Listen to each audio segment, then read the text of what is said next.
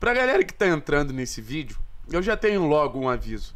Eu não vou chegar aqui e fazer uma baita crítica da maneira como o Atlético jogou, falar que o Atlético se acovardou na Arena da Baixada e que o Filipão é um péssimo técnico e errou a estratégia de jogo. Eu não vou falar porque eu não me sinto bem não falando o que eu vi do jogo para vocês.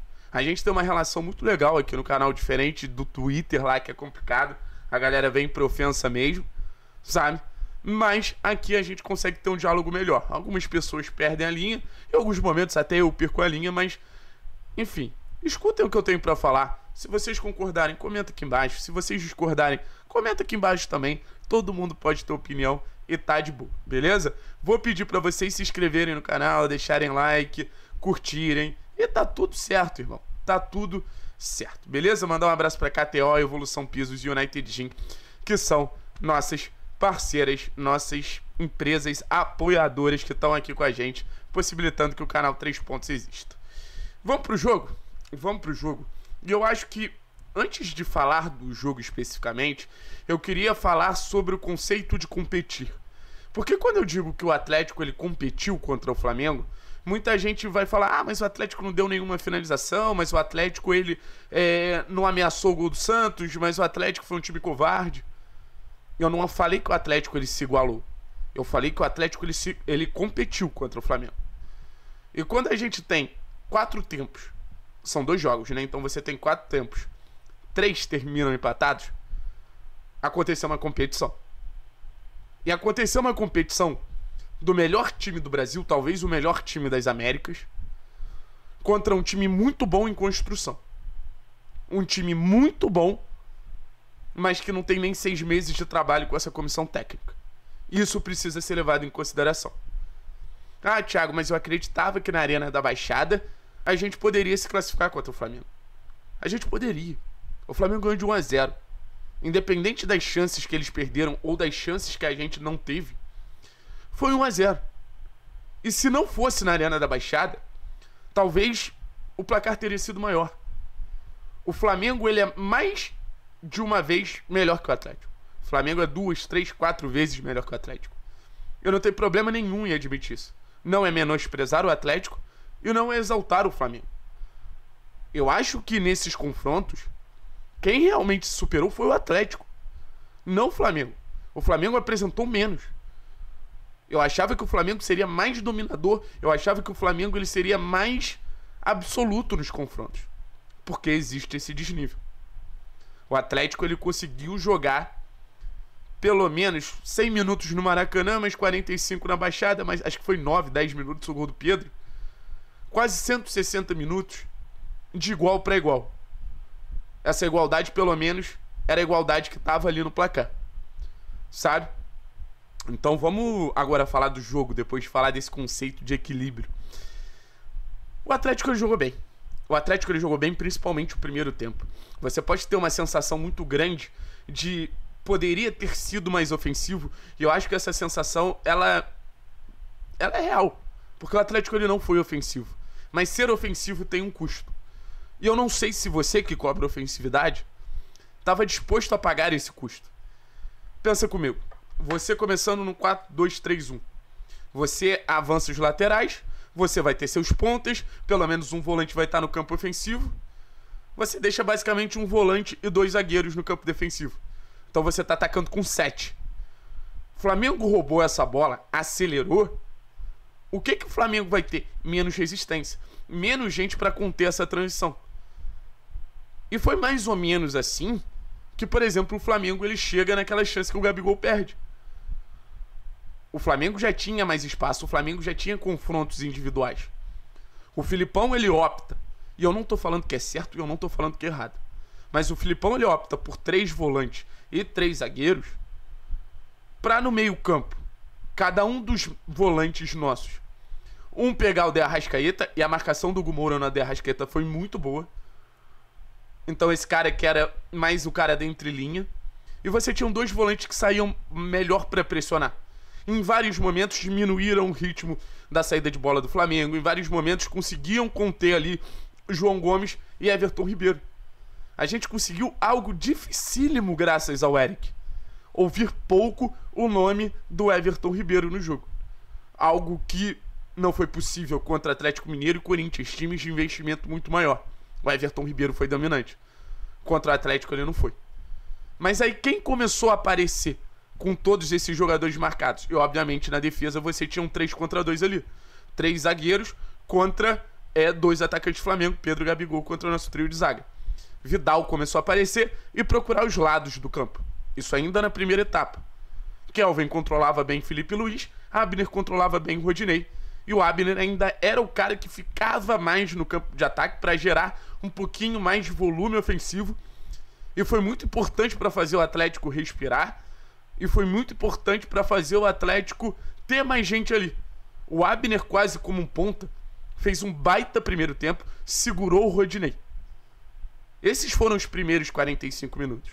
Mas eu chamei atenção em dois pontos importantes que a gente deixava a desejar no primeiro tempo.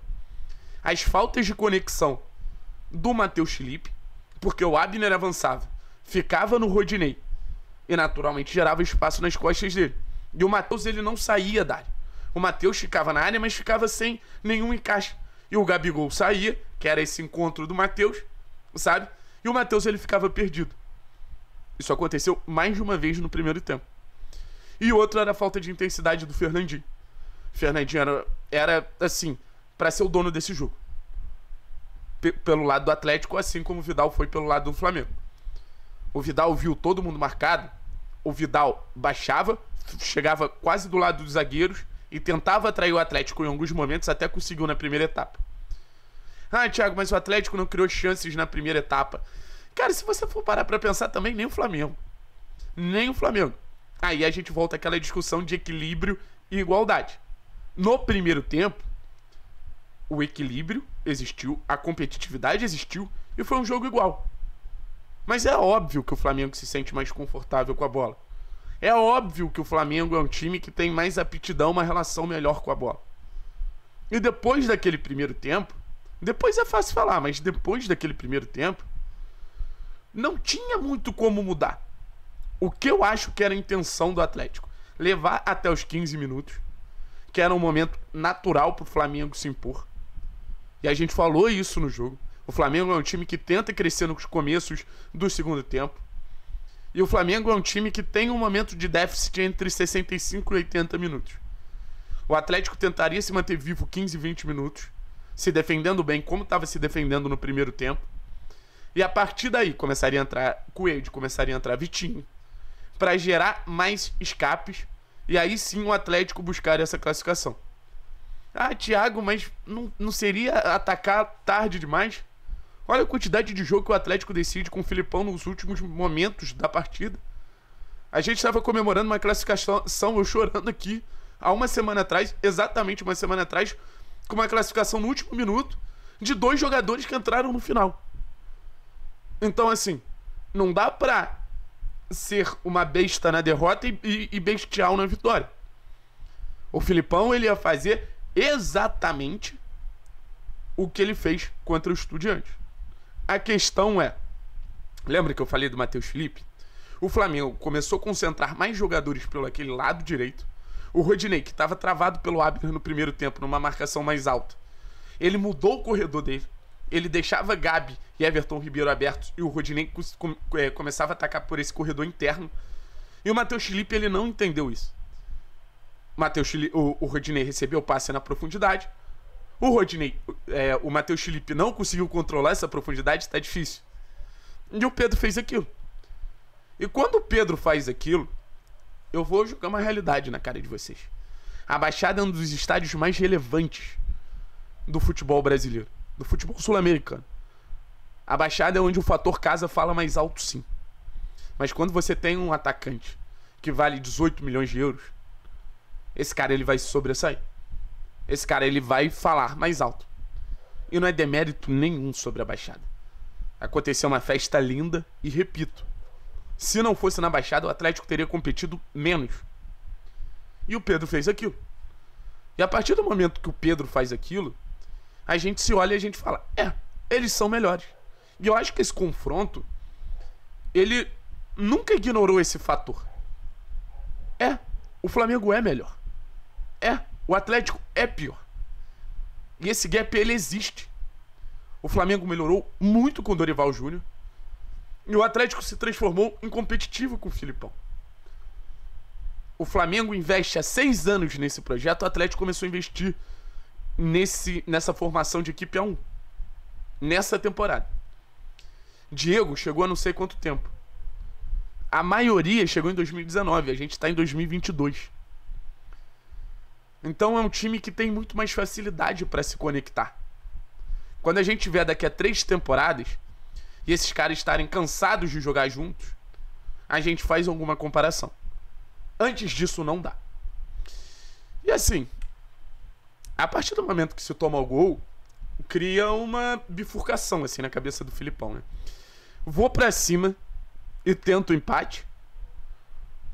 Vou para cima, me exponho e tenho o risco de tomar uma goleada, sendo que eu venho de um 5 a 0 e posso comprometer o resto da temporada, porque eu não sei como vai ser a reação dessa torcida. Eu acho que o Filipão tentou encontrar o meio termo. Bota Canóbio, bota Coelho, bota Vitinho, mas mantém os três volantes. Até que em algum momento entra o Vitor Bueno, porque já estava no momento final e não dava para o Flamengo construir uma grande vantagem. Flamengo fez o gol, abaixou as linhas. Flamengo tem um jogo decisivo contra o Palmeiras e não via o Atlético oferecendo perigo suficiente para ele é, continuar atacando. E mesmo assim levou perigo, teve a chance do Gabigol. O Atlético teve uma situação ou outra ali sabe? O Coelho acho que entrou bem legal. É, achei que o Vitinho também não foi colocado numa situação muito confortável. Mas eu acho que o resumo do jogo é esse, cara. Eu acho que o resumo do jogo é esse. O Atlético fez até onde ele podia. E o Flamengo tem essa capacidade de desequilibrar num lance. Contra o Palmeiras, eu acho justo fazer esse tipo de comparação, talvez seja mais equilibrado. Ou não. Mas o Atlético ele não ia invadir essa primeira prateleira do futebol brasileiro de um dia para o outro. O Atlético ele vai construir essa chegada entre os maiores, entre os melhores. E essa temporada ele começa essa construção. Eliminando o Libertar, eliminando o Estudiantes, competindo contra Flamengo, porque competiu sim. E principalmente a semifinal que a gente vai jogar agora de Libertadores. A temporada é ótima, o trabalho do Filipão é ótimo. E eu vou falar só o top 5 para eu não perder o fim da meada aqui. Eu sei que muitos vão discordar do meu top 5. Mas eu vou fazer rápido, assim, nem vou explicar muito não. Kelvin, número 5. Hugo Moura, número. Kelvin, número 5. Pedro Henrique, número 4. Hugo Moura, número 3. Abner, número 2. Thiago Heleno, número 1. Esse é o meu ranking. Eu sei que vocês vão me xingar, baba ovo do Abner, blá blá blá blá blá blá blá blá. Mas eu achei isso e é minha opinião e tá tudo bem. Vocês podem discordar de boa, não tem problema nenhum. Forte abraço, é nóis.